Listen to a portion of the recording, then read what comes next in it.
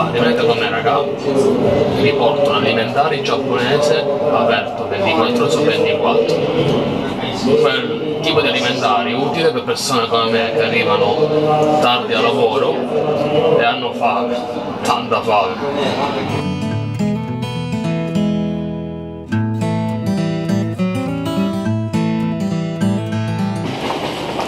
Ed eccoci qua. Eh, si va diritti alimentari. In Australia io ho vissuto a Fremantle.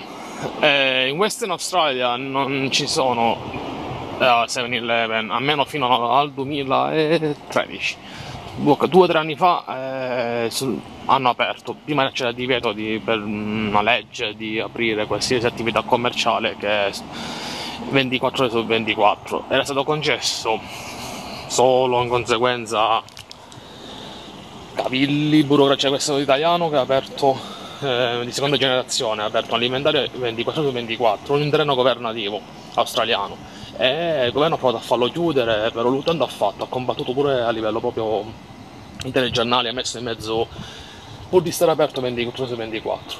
In Australia è un po' diverso, c'è la criminalità di più rispetto al Giappone, perciò eh, la, lui doveva pagare due della sicurezza fissi dentro la struttura più le telecamere perché il rischio di beccarsi un furto era altissimo qua in Giappone non c'è questo problema perché allora questi alimentari ci lavorano due persone tutta la notte. Si occupano di sistemare tutto di rimettere tutto quanto in ordine. Ovviamente non ci sono tanti bento box, ci sono le rimanenze del, di quelli che hanno preparato in serata Una volta vengo qua, compro la carne, uova, compro qualcosa di veloce da preparare a casa, verdure. Però vedete anche i banchi sono più o meno vuoti, non c'è rimasto molto. Questo è un alimentare molto piccolo rispetto a altri, tipo quello che ha fatto Davide il video. Ma ha fatto Davide il video molto più grande, due volte questo. Ed il sushi non esiste proprio, l'hanno già fatto fuori. c'è un po' di sashimi, un po' poca roba, qua, qua, questo è quello che è rimasto. Ah, la spaghetta pongolata che fa tristezza, o oh, questa è di funci, questa è di funci, ma ci sta a volte quella alle vongole che veramente fa un po' di tristezza. po' triste. Però questo è, molti dicono è bello, voglio, andare, voglio riprendere un supermercato un piano giorno perché rende l'idea. Eh, beh, io invece ve lo mostro di sera, che rende ancora più l'idea, perché questa è la realtà.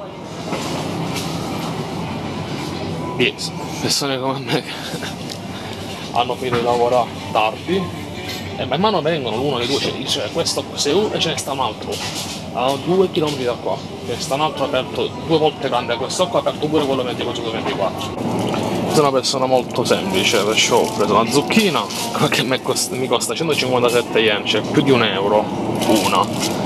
Ehm, le uova ce l'ho, però una, una melletta, una frittata, una frittata con le zucchine, perché così è. Perché non arriverò a casa intorno più di mezzanotte e mezza, quasi l'una, e non mi metto a cucinare. Questa è la realtà di un sacco di persone giapponesi che hanno impegni di lavoro e, e ecco qua dolci, dolci, dolci, questi costano veramente niente, questi sono quelli più gettonati la mattina per i salaryman, per gli studenti, perché costa poco e riempi stomaco, questo proprio riempi stomaco. Questi sono ripieni con monti, formaggio, tonno, alcuni con uova, alcuni con i fagioli rossi.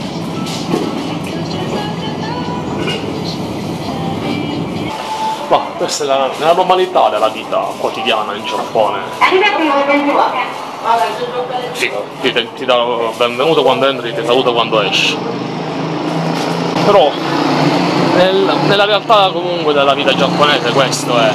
Cioè. Mh, è meno figo lo mostro su YouTube, però poi è una realtà. E ci sono tanti giapponesi che vivono in questo modo, che hanno lavori. Io ho lasciato la fabbrica, questa gente che fa il turno fino alle 5 di domani mattina eh, mentre io staccavo erano in pausa, in pausa, ceno o meno che sia, avevano tipo un'ora di pausa e riattaccavano a, a, a mezzanotte, alcuni, alcuni poi staccavano da mezzanotte e attaccavano poi a luna, rimanendo comunque in fabbrica.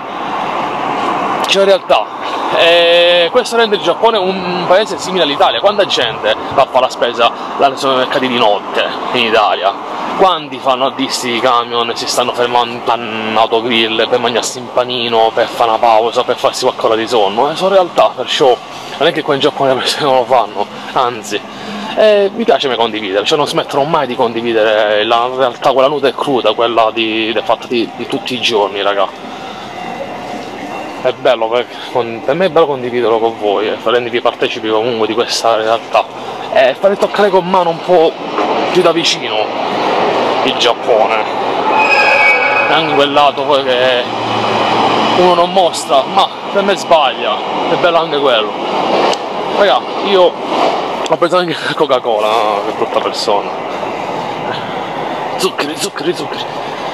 Adesso vado a casa preparo da mangiare. Sto un po' con la mia donna. E ci vedo mai eh. un altro video del Giappone. Fatemi sapere nei commenti se vi è piaciuto il video se vi piacciono video così.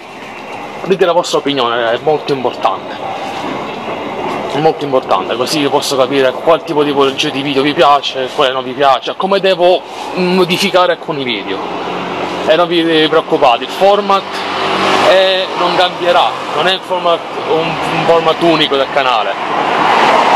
Non succederà mai che la, vi abbandono e, la, metto video seduto davanti a una telecamera, non lo farò mai, non, non, è, non, è, nato, non è lo stile di sto canale, non è, non è nato così sto canale, il canale è nato così, parlandovi in mezzo alla strada, e così sarà, sempre improntato il canale. Grazie per il vostro tempo, grazie davvero.